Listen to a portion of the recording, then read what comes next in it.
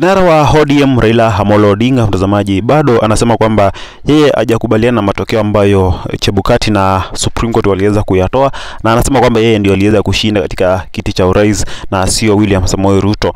Mtazamaji, sasa Raila Odinga ameamua kufanya uchunguzi tena ili kuweza kufahamu ama kuweza kueleweshwa vizuri nini ambacho haswa kilifanyika tarehe tisa mwezi wa nane na ni kwa nini hakuweza kushinda. Aa, na anasema kwamba kama atafanya uchunguzi na apate kwamba William Samoei Ruto alishinda kwa njia ambayo ni halali, basi yeye hatakuwa na shida, lakini kama atapata kwamba kuna wizi uliendelea ama ukora basi atakuwa anachukua maamuzi yake ambayo bado hajaweza kutueleza, lakini tutakuwa tunangojea sasa tuone jinsi ambavyo Raila Odinga atakuwa anafanya uchunguzi wake, lakini pia tutakuja kukufahamisha hapa hapa Jitan Media. Unafahamu kwamba William Samoei Ruto alimshinda Raila Odinga na kura kidogo tu kama laki mbili na nusu.